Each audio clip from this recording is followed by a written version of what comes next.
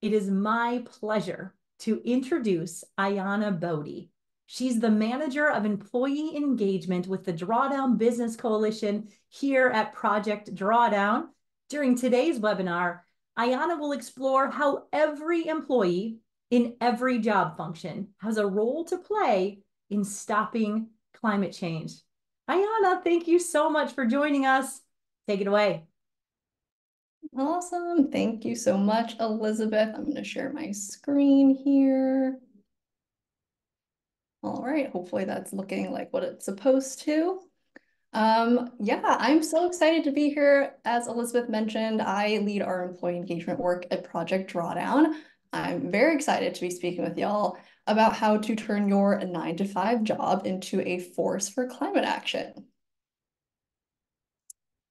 Okay, so you're probably wondering why is there an image of frozen yogurt on my screen? I thought I came to a talk about climate action.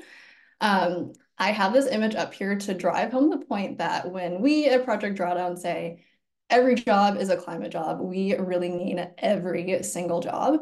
So my first job ever was at a frozen yogurt shop in kind of like the big town center in the town that I grew up in in Virginia. I was 16 years old and I thought making 725 an hour was a lot of money, which is kind of laughable now. Um, and I was, you know, too busy trying to work this frozen yogurt machine to think about how I could use my position as a force for good, let alone for climate action. But in reality, now, you know, thinking about it over a decade later, um, there was actually a lot I could have done to make even that job a climate job. I could have done things like talk to customers about climate change. I could have promoted dairy-free options. I could have avoided promoting too many toppings. I could have ensured food wasn't being wasted. I could have asked my managers to start composting or um, have compostable spoons and cups for customers. I could have reused towels more instead of using paper towels.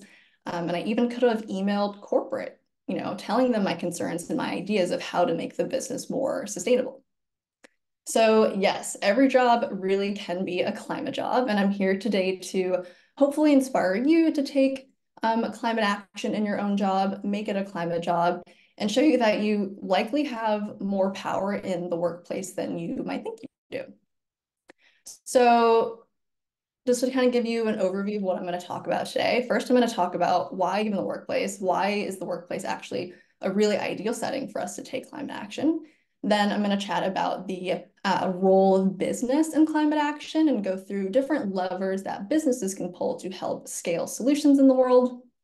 Then I'll talk about your role, the employee's role in climate in climate action, and I'll give some examples of how different job functions can take tangible action that's related to specific roles and responsibilities. And then finally, I'll go over how you can get started in making your own job a climate job. So why the workplace?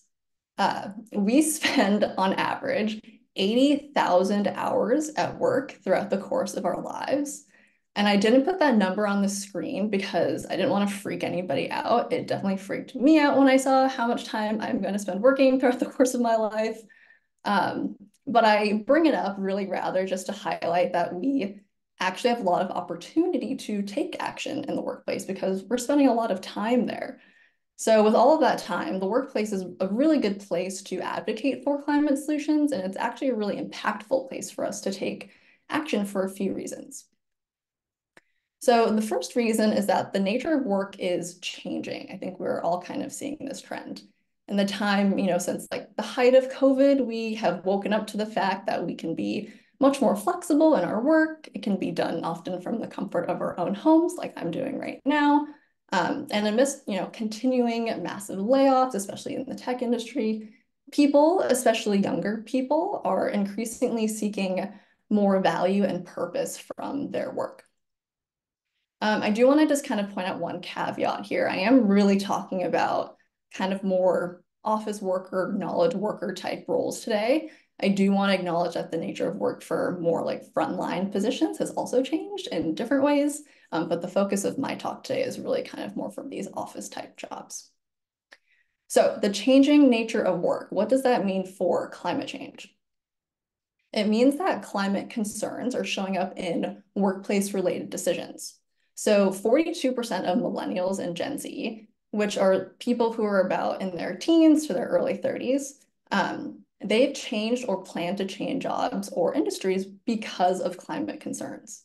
And then 50% of millennials and Gen Z are pushing their employers right now to drive change on environmental issues. And I can only imagine these percentages will continue to get higher. And I think businesses will respond accordingly because this is a trend that has pretty major implications for things like talent attraction and talent retention. The second reason the workplace is a great place to take climate action is because businesses have a lot of influence on the climate. They have a lot of financial, political, and social and cultural power, whether we like it or not. And just to demonstrate their financial power, I want everyone to consider this fact. Of the world's 100 largest economies, 69 are corporations. So of the biggest 100 economies in the world, the majority of them aren't even countries, they're companies. So this power obviously has really major implications for the climate. A study of 15,000 publicly traded companies found that if they were to pay for the damages of their climate pollution, their profits would drop by 44%. And of all the companies that this study looked at, 89% of them would actually have their profits surpassed by the costs of the damage to the planet. So because of this influence, businesses also have a really big obligation to help address climate change because let's face it, they're a really big reason for climate change. I'm sure many of you have seen this fact before. Over 70% of greenhouse gas emissions come from just 100 energy companies. Um, new data was released earlier this month saying that just 57 fossil fuel and cement producers are linked to 80% of global fossil fuel carbon dioxide emissions since the signing of the Paris Agreement in 2015. Um, combined, the top 15 US food and beverage companies are the world's 15th largest source of annual emissions. Uh, just the fashion industry is responsible for 10% of global emissions. Um, as you can all tell, um, I really love using statistics to drive a point home. Um, but I do want to, you know, call some some things out here. One is that big business hasn't just emitted a lot of greenhouse gases. Big business has also used its power to hide us from the magnitude of the issue and sometimes obstruct us even from taking action, from misinformation and greenwashing to peddling of false solutions and lobbying against climate policy. Big business has a climate impact beyond just their direct emissions.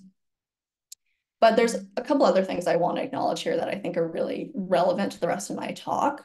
First off, of course, these companies are producing the things that you and I use and need, like food and clothing and energy. All of these things are very important, obviously. And I don't think it's very realistic or equitable to assume that everyone can switch to more climate-friendly alternatives. But if we can get you know, more people in these companies to take climate action, then we can hopefully transform the way that these companies are currently operating um, and how they're creating the products that we use and that we need. And building on that point, I also need to point out that companies, you know, ultimately are just made up of people, of you and I. You, employees, make up and drive businesses. And because of that, you actually have a lot of power to change these organizations from within because you are part of that organization. And lastly, of course, um, many different sectors, actors, organizations, institutions are all responsible for the climate crisis. Um, but we know the magnitude of, of impact on climate that comes from big businesses and big companies. And so how can we leverage that knowledge and turn their obligation into an opportunity? Because businesses uh, do actually have a lot to gain from taking climate action.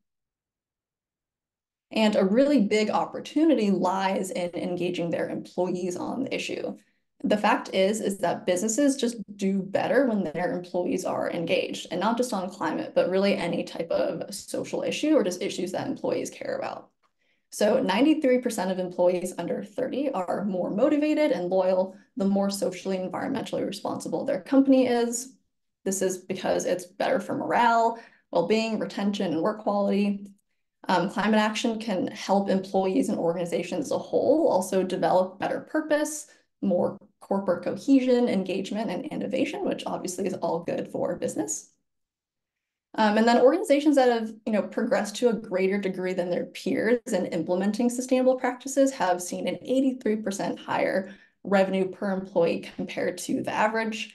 And the companies who are really advanced in their sustainability journey, um, you know, they engage their employees by doing things like creating upskilling opportunities for employees and having sustainability task forces with representatives across the organization. And all of this leads to more innovation, well-being, and again, which is all good for business. And the last reason I want to mention about why the workplace is a good place for climate action um, is because our agency extends beyond ourselves. And I think the workplace is a really good example of that.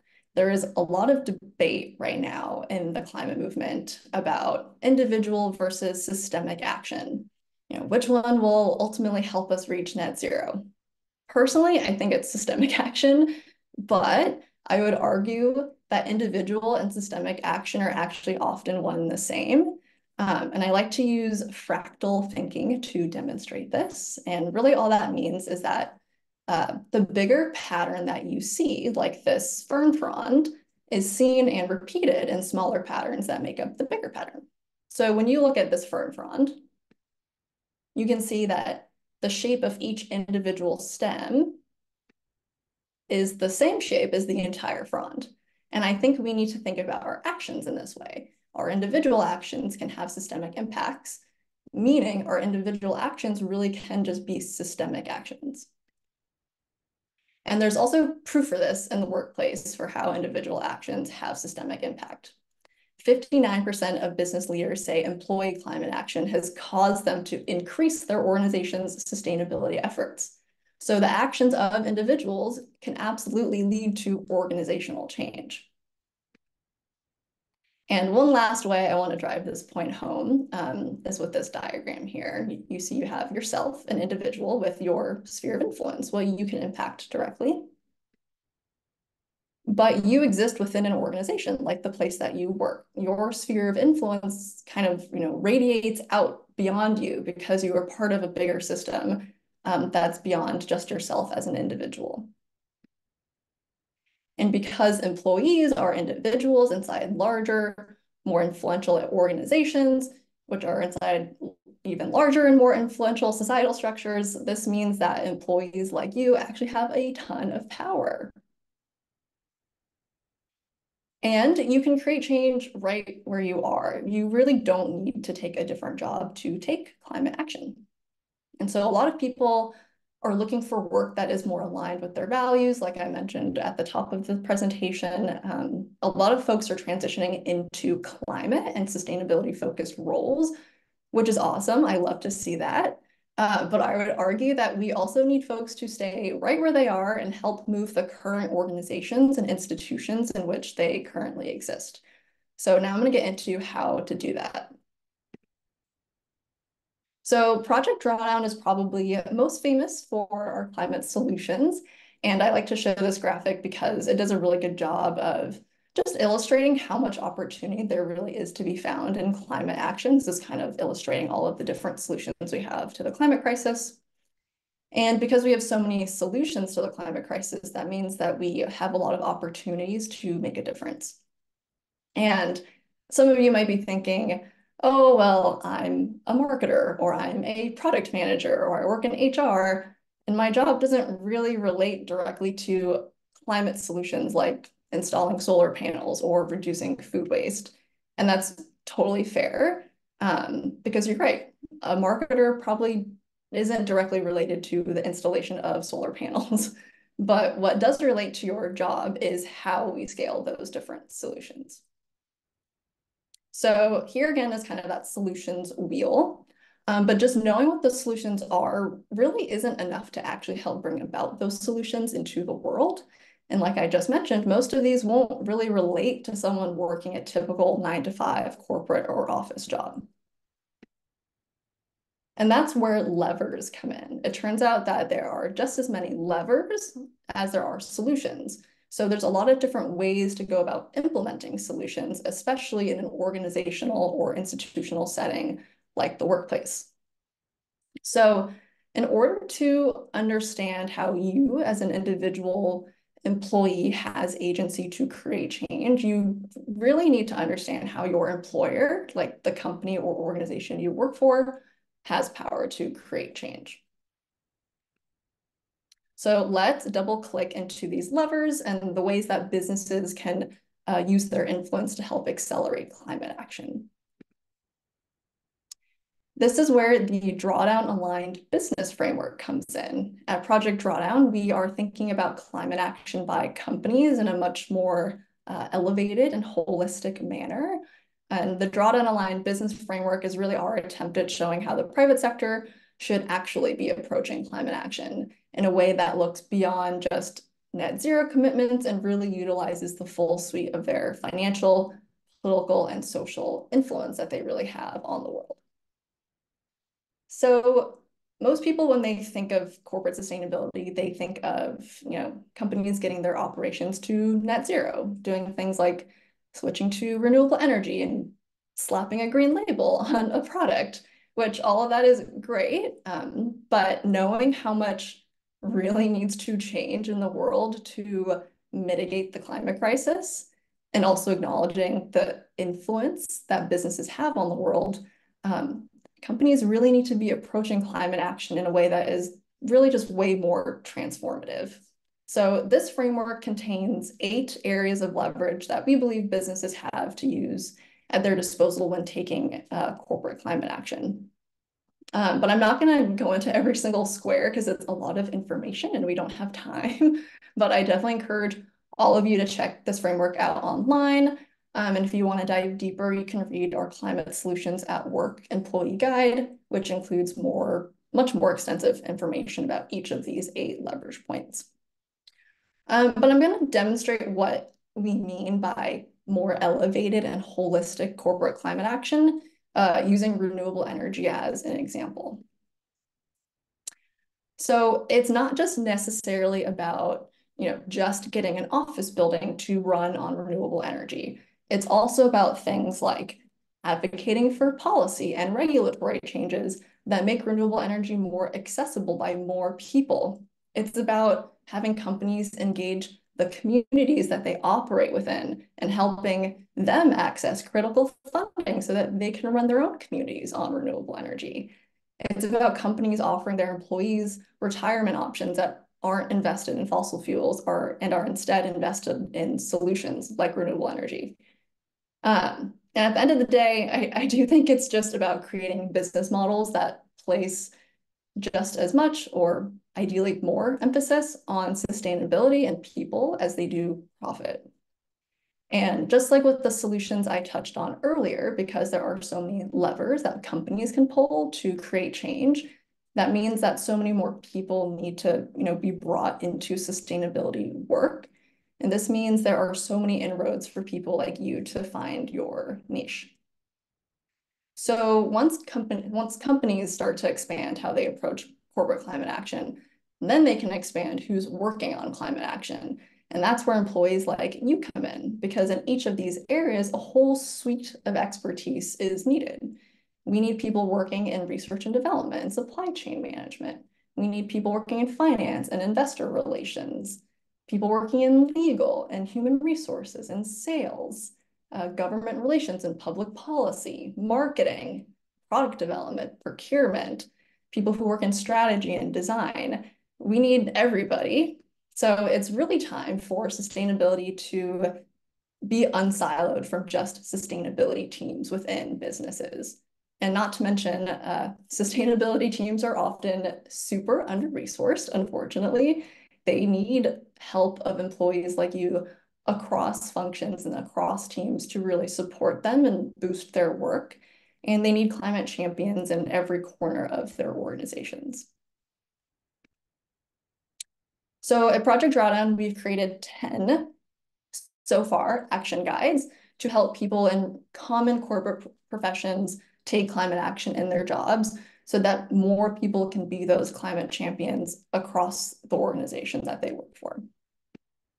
And this is just an example of what one of those action guides looks like. Um, this one in particular is for product design. And I encourage y'all to check those out and we can put a link in the chat for you to take a look later. Um, so yeah, definitely check the job function action guides out and a couple more will hopefully be coming out later this year. Okay, so now we understand the levers that businesses have to scale action. Now let's finally bring it all home and talk about how this applies to you, the employee. So when we combine the levers for climate action that businesses have with the individual roles and functions that exist within a business, then you can really start to brainstorm some pretty tangible action. So really quickly, going back to the framework, um, let's use this as a way to illustrate how employees can move the needle on key areas of influence within their job function specifically. Again, heads up, I'm not going to go through every single leverage point for the sake of time. Um, and I also want to acknowledge that, you know, not every type of role that exists within a company is going to be shown, but hopefully these examples I'm about to show you will at least help you get started kind of just thinking about how your own role can relate to climate action and hopefully in ways that you hadn't necessarily thought of before. So how can different job functions help reduce emissions in a way that is much more impactful than just, you know, a company relying on carbon credits? So if you are a UX UI designer or engineer, you can design and build for minimized energy consumption in your products. If you work in procurement or purchasing, you can require suppliers to have science-based emissions reduction targets to help reduce your company's scope three emissions. If you work in human resources, you can offer uh, work from home employees stipends for renewable energy and energy efficiency upgrades. Uh, you can offer commuters stipends for low carbon transportation to get to and from the office. Looking at stakeholder engagement, how can different job functions help, you know, the company's entire ecosystem of stakeholders from employees to the board of directors to shareholders to the communities that the business operates within. So again, if you work in HR, you can create programs for employees to take on sustainability projects within working hours. If you are a product manager, you can prioritize products and features that help customers make sustainable behavior changes. You can also uh, survey and track customer interest in climate and sustainability to help you make the business case for more climate action within your product. And how can different job functions ensure the company's products and partnerships are not uplifting the industries and activities that are causing climate change? If you work in the legal department, you can work with procurement teams to develop a contractual language that requires key customers and key suppliers to provide emissions data and encourage them to take climate action. If you work in a client-facing role or in sales, you can possibly pledge to not partner with, sell products, or offer services to the fossil fuel industry? How can different job functions ensure the company's finances and investments are contributing to uh, climate solutions rather than climate change? If you work in finance, you can help track the company's financed emissions by auditing all financial relationships, like who your company banks with, um, it turns out that a lot of the big banks are heavily invested in fossil fuels. If you work in human resources, you can offer climate-friendly retirement plan options so that employees can, you know, feel really confident that their money, their retirement money, is invested in climate solutions rather than being invested in the things that are causing the climate crisis. And finally, how can different job functions help the company advocate for climate policy?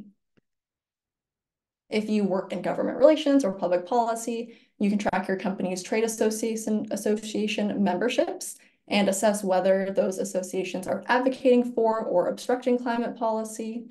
If you are a marketer, you can work with the government relations team to develop effective communication strategies that show and advocate for public support around climate legislation. Um, quick example, if anyone follows Ben and Jerry's on social media, they are a great example of a company that is very publicly advocating for climate and other uh, social justice policies.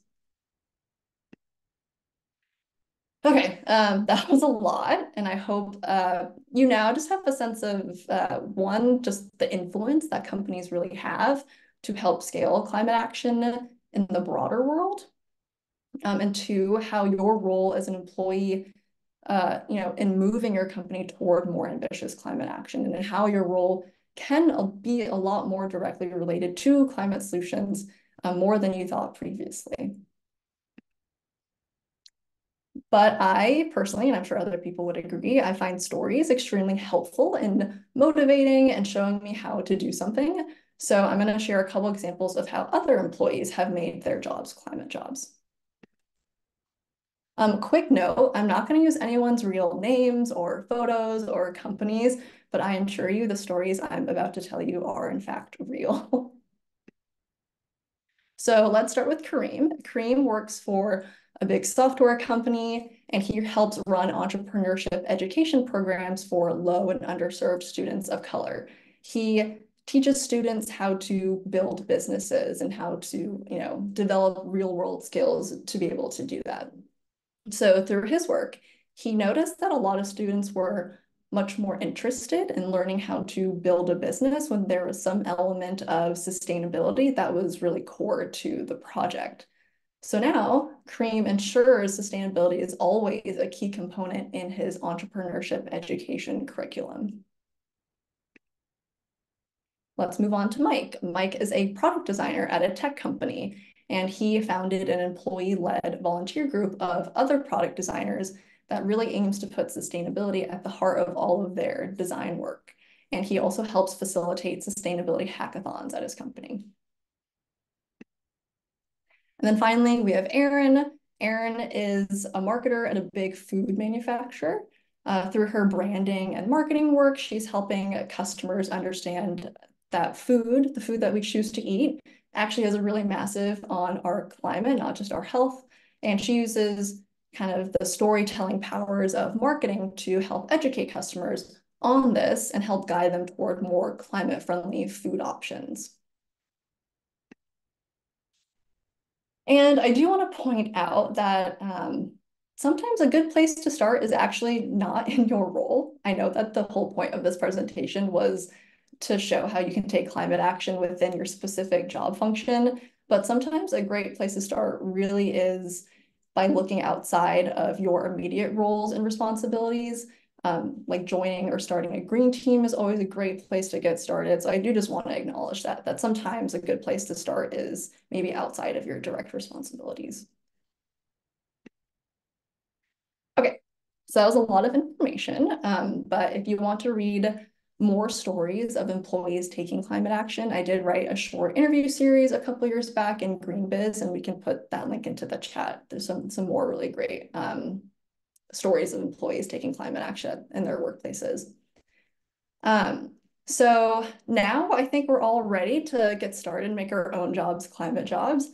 So I'm going to quickly share some tactical next steps that y'all can take. So first and foremost, it's very important to take stock. It's very important to identify your company's and your team's climate commitments, if there are any. So understanding what commitments, what sustainability commitments have already been made kind of at the top corporate level can give you a really helpful communications and advocacy framework to work within when you're starting to uh, advocate for climate action and it makes it a lot easier for you to make those connections to your role when there's something that your company has already laid out as their action plan on climate and sustainability. And I think some good questions to ask yourself here are, how might you be able to funnel these corporate level sustainability goals down into your team and your individual role? Are these goals related to the objectives of your department or your team? Does your specific team have any goals around sustainability? Has it implemented any explicit sustainability focused initiatives? Um, and if anyone on this webinar is not sure if your company has a sustainability plan or how to find it, um, you can very easily just Google your company plus sustainability and something should pop up um, if there is something. Um, or if you know the right person to contact, you can reach out to your company's sustainability team and ask for a copy of the company's sustainability plan or report. Um, you can even request to meet with them to learn more if you're feeling bold. Um, the second step here is to, once you've taken stock and understood, okay, this is what my company is doing on climate action, next you can start to identify what do you want to change? What is your action that you want to take? So you can brainstorm actions that you can take in your role and you know choose at least one of them to move forward with. And I hope that the examples I shared earlier of climate actions that are tied to specific job functions is a good starting point. Um, but I'd also encourage you again to check out those job function action guides for more inspiration. So next, you then need to understand who is the best person to help you take that action. Can you make needed changes yourself, or do you need to reach out to someone else who can? Do you need permission to take action, or can you just kind of take the initiative right away? It, of course, really depends on kind of where you sit in the organization, how much decision-making power you have. Um, it can also be helpful to do the opposite here and think about potential barriers to you. Um, are there any people, such as in leadership or in your team, uh, who might be a barrier, or is maybe this the overall company culture and like the structure of your company? Is that going to hinder you from taking climate action? And how might you strategize to, you know, overcome those barriers? And finally, I think this is probably the most important step is to find your people. Um, you do not have to do it alone. And in fact, you really should not do it alone. Um, and as I mentioned a little bit ago, joining your company's green team, if there is one, is a really good way to get started and connect with other climate passionate colleagues. I would also encourage you to reach out to climate focused organizations who might be able to help you and your colleagues uh, you know, get up to speed on climate knowledge and how to organize for change within a company. Um, at Project Drawdown, we've worked with our company partners to socialize this idea that every job is a climate job, and there are a lot of great organizations that do very similar work to us. Okay, we're at the end. Um, I want to thank everybody for listening and hopefully learning something as well. um, but I do want to leave you with a couple of requests. First, uh, Project Drawdown is actually right now collecting and sharing stories of employees who have made their jobs climate jobs or are trying to make their jobs climate jobs. So if you or someone you know currently is taking climate action in their job, we would absolutely love to hear from you. Um, and we can drop the link to the story submission form in the chat.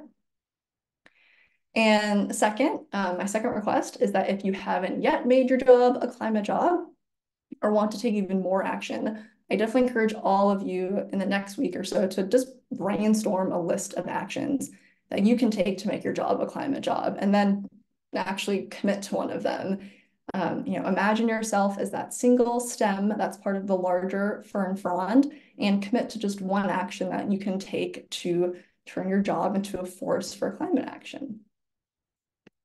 And that's it. I want to thank everyone so much.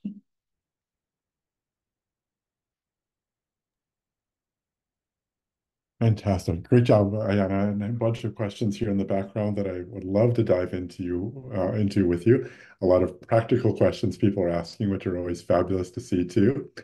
Uh, so one of our first questions is one of the most recent ones that just came in here. Um, obviously, Project Drawdown is producing some amazing resources, which you talked through today.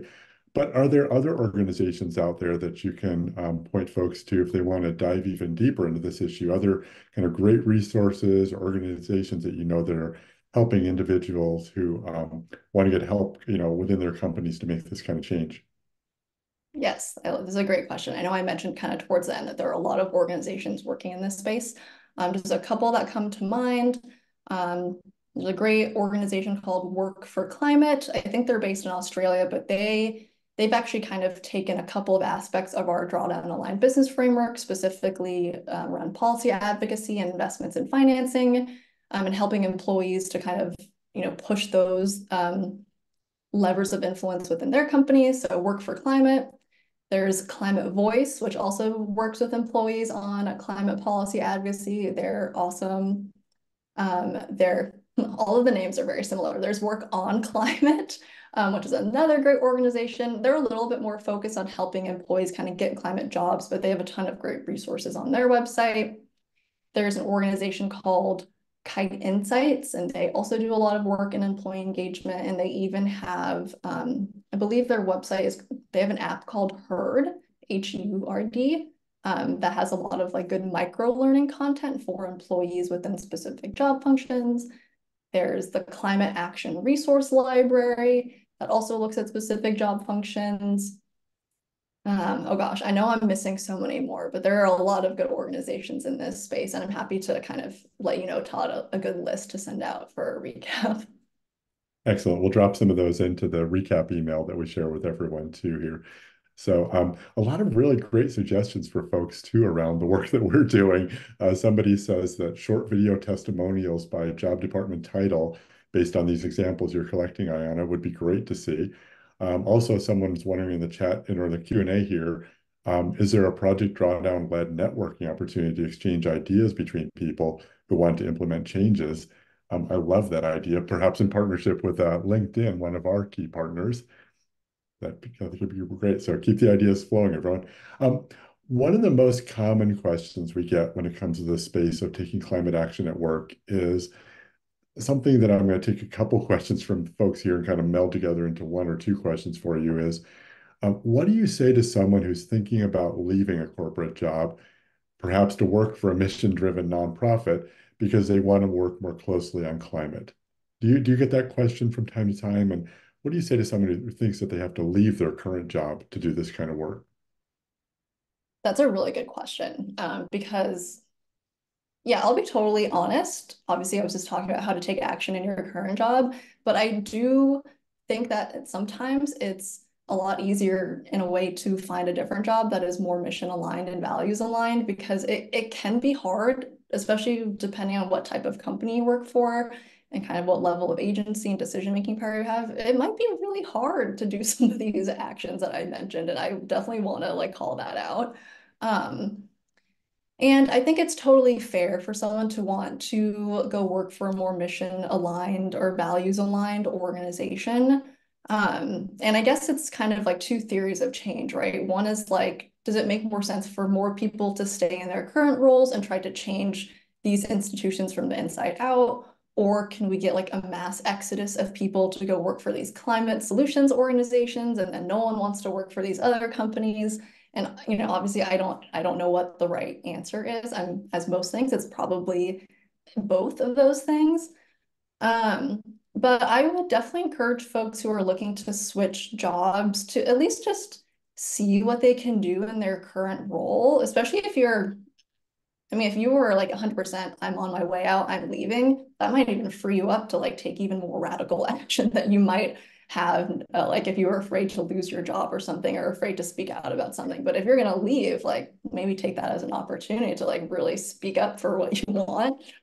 Um, and the other thing I would say is even climate solutions focused organizations even they can do a lot more on climate. Like I'll use, you know, Project Drawdown as an, as an example. Like, you know, there are a lot of things that we could do like around uh, things like, oh, who you bank with. Like I mentioned financing, like who you bank with. Like, you know, com nonprofits need banks too. Like who are you banking with? So even when you go to the more values aligned job, um, you definitely can still take action there as well. Yeah, that's a really good point. And I think that's something we should share and be transparent with the audience is that, you know, as a work as a result of this Climate Solutions um, at Work um, initiative and the work that's being done there, we've taken a closer look as an organization through our leadership team. Our director of operations has been incredible too, and just looking at those those different um, ways that we operate as an organization, and like you said, cleaning up a few things. So hopefully, we're walking the talk here too. Um, a few people are asking about, um, you mentioned pretty clearly at the front end of your talk that you were focused more on corporate jobs, but they're wondering about how does this apply to nonprofit jobs or to government jobs? And I'm assuming that, you know, job functions kind of are similar, but of course the sectors are very, very different. So any thoughts on that or any perhaps future plans to for us to dive into different sectors? Yeah, I mean, this is great because yeah, I've had a lot of people who work in government or other nonprofits or um, like other public sector jobs like education or healthcare um, ask for like more resources for for their roles. And uh, I don't think there's much of a difference in terms of like making your job a climate job because I'm, you know, the government needs marketers and HR people too, just like anyone else does. And I would even argue especially if you're working for a government agency, you probably you probably have a lot of power as well. One thing that comes to mind is like the purchasing power of the government. Like government agencies buy a lot of things from the private sector. So purchasing and procurement is like a really big lever, I think, for that.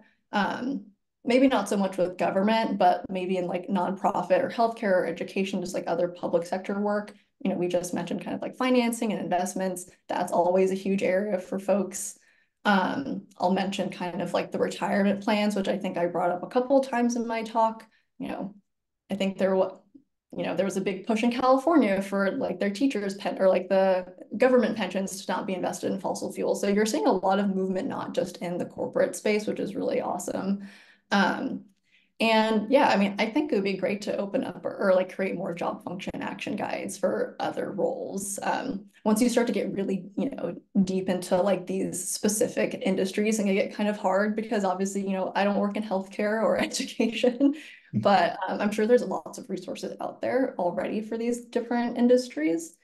Um, and yeah, and then I think the last thing I'll say there is uh, just kind of going back to what I mentioned earlier in the last question, like working for a nonprofit, like you mentioned, Todd, like, you know, like walking the walk, like just because you're a nonprofit doesn't mean you're doing everything right already in terms of like climate action. And so, yeah, there's definitely a lot of room for taking action in those more public sector uh, roles as well.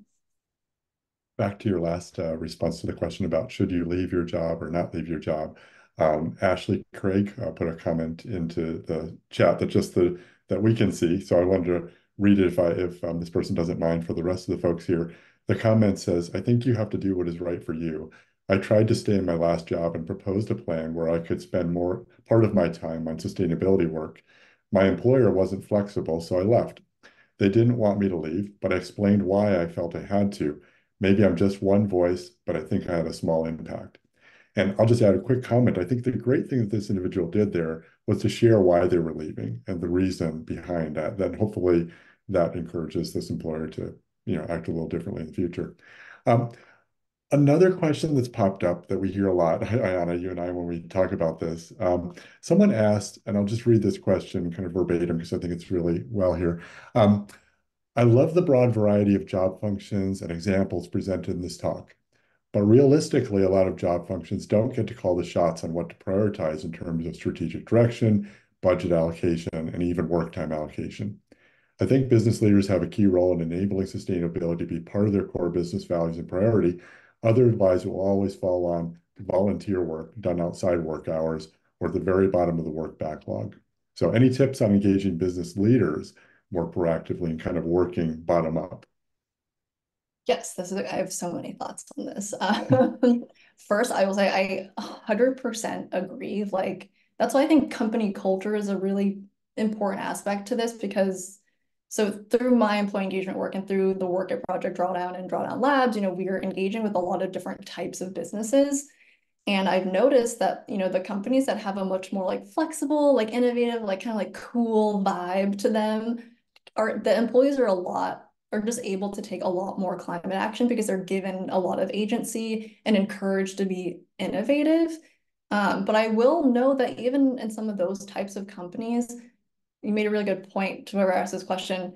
Uh, usually this stuff is volunteer and it's like extracurricular. These empl often employees are doing these things outside of their like normal working hours, which I think is just yeah, that's like one, if like anyone who's in a leadership position is on this call, like in an HR type of role, I think one huge thing you can do is to carve out space within working hours for employees to pursue not just sustainability, but just like other interests that they have that aren't related to their, uh, you know, roles and responsibilities.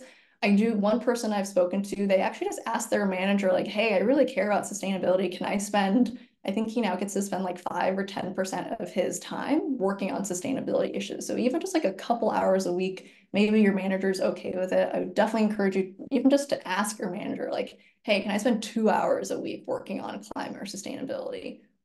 We all know that that's not going to take away from like the work that you do and your normal kind of roles and responsibilities. Um, but kind of going back to what the actual question was. yeah, I think at Drawdown Labs, we, we kind of like to think about our work in like a bottom up, meeting a top down approach.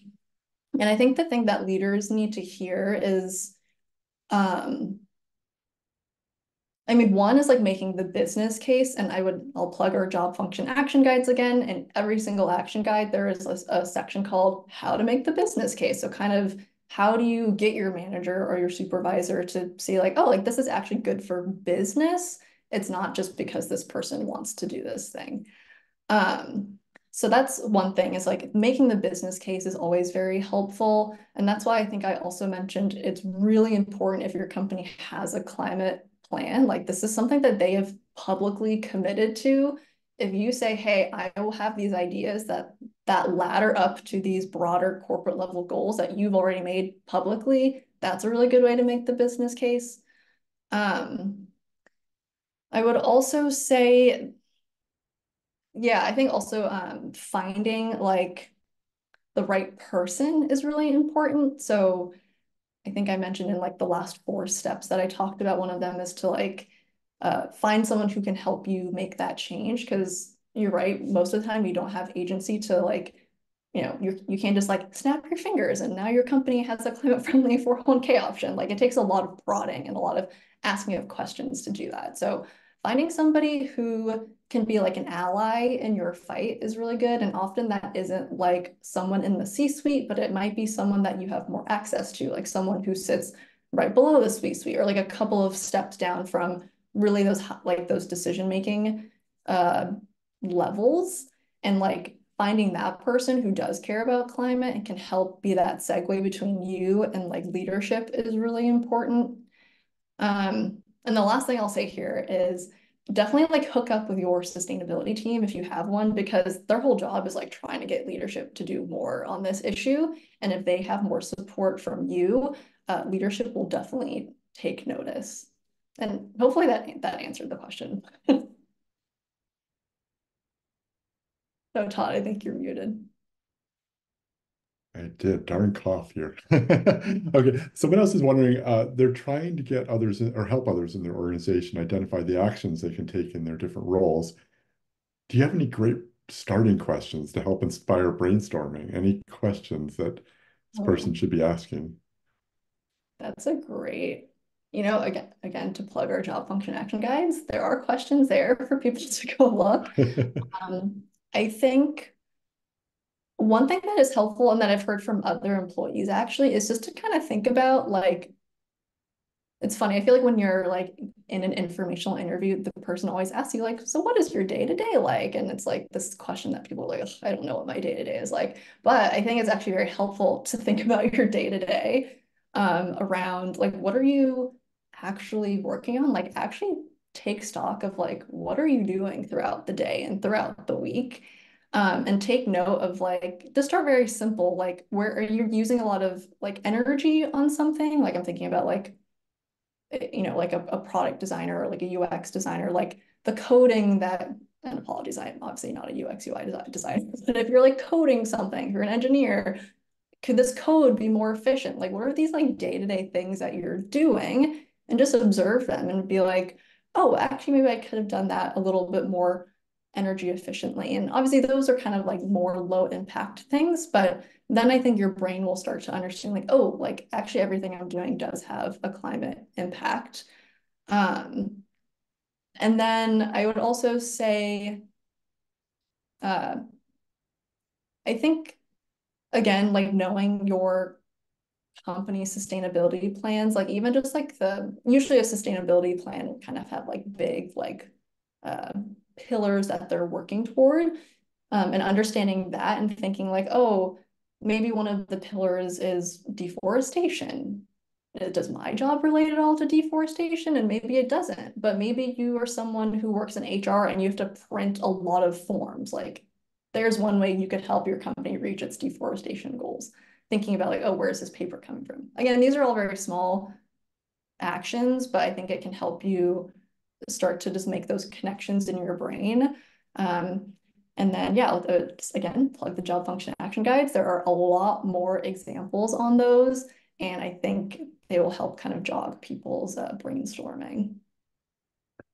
I just have to say, I love the audience who is part of this call today, because in the Q&A, Nick is asking, are there ex examples of businesses that have taken up sustainability in a successful way? And then completely out of the blue, I have a note in the chat from Eleanor saying, good business case and co-benefits of change can help convince a business leader. Companies that re-engineer for sustainability are often more competitive. And the answer goes out a little bit more than that, but I love the kind of back and forth there un, unexpectedly that's happening. And then also um, Mia in the in the chat um, just posted something I'd love to read out loud too to everyone.